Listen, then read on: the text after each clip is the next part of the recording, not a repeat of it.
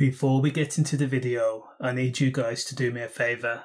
Number one, get this video to at least 200 likes. Also comment, let me know your thoughts on the case.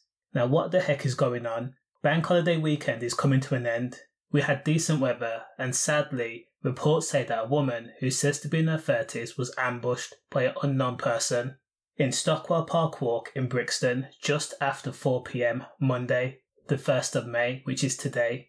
At a time where we should be rehearsing, pledging the oath to the new king, someone is walking around with a blade and actually using it on a woman. Now that could have been your mum, your auntie, your auntie's friend, your cousin even. At the moment, there's no update on the woman's condition, but it was serious enough that the London Air Ambulance had to attend the scene, along with an ambulance crew.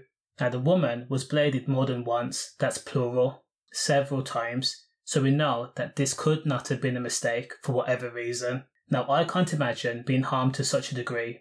Ragged breathing, a pool of red growing bigger, wanting, praying, begging for help. It had to be a traumatic experience.